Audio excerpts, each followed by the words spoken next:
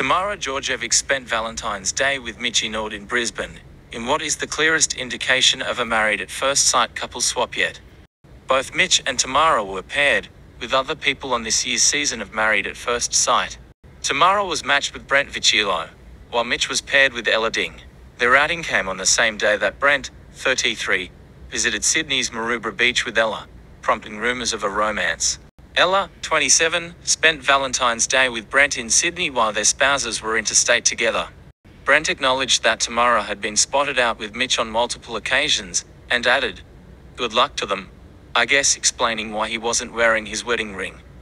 Brent then claimed that he removes it whenever he goes to the gym.